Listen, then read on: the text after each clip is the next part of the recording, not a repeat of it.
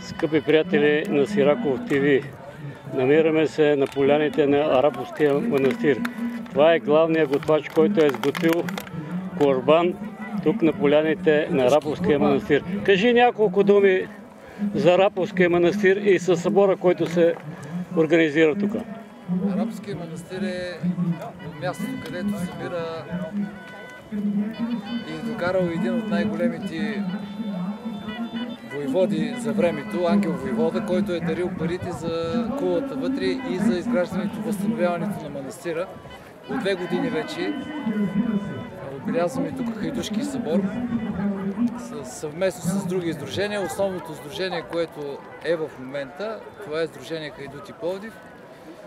И аз като главен готвач Хайдушки трябва да сготвя, на мен ми се пада за втора година чиста, да направя хайдушкия фасул.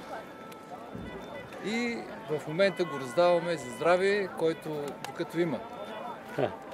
Кажи, как, кажи какво слагаш в тайна е, казана. Тайна това е тайна, хайдушка тайна. Хайдушка тайна защото Скъпи приятели, такъв... това е хайдушка тайна. Хайдутите ни издават Оп, своя занаят. И така. А, значи най-вкусно става, когато се сложат много неща. По-маничко да може да го нося. Hajde će se spori. Ne, ne,